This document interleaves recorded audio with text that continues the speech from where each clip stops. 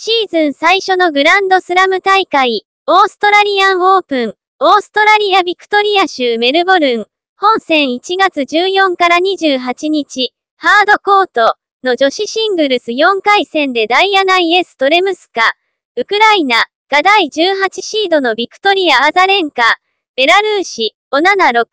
6、6の4でどけ、四大大会で初のベスト8進出を果たした。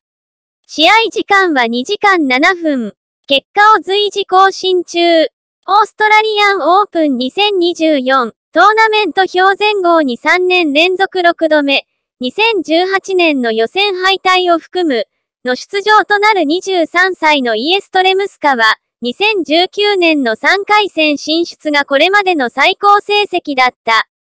ダイレクトインだった昨年は1回戦でエレナ・オスタペンコ、ラトビア、246に6で敗れていた。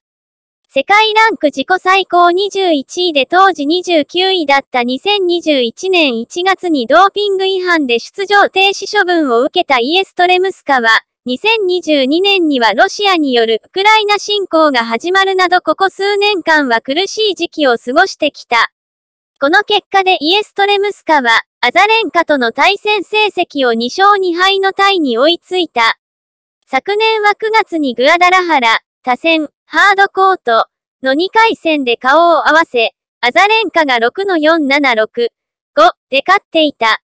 今大会でのイエストレムスカは予選3試合をすべてフルセットで勝ち抜いた後1回戦で第7シードのマルケタ・ボンドルソバ、チェコを616の2で倒すバンクルワセを演じ、2回戦でバルバラ・グラチェは、フランスを636の2で、3回戦では第27シードのエマナ・バーロ、アメリカを622の661で破って2019年ウィンブルドン、イギリス・ロンドン、グラスコート、以来となるグランドスラム16強入りを決めていた。イエストレ・ムスカは次のラウンドで、第19シードのエリナ・スビトリーナ、ウクライナが第1セット0対3とリードされた時点で棄権したため勝ち上がったリンダ・ノスコバ、チェコ、と対戦する。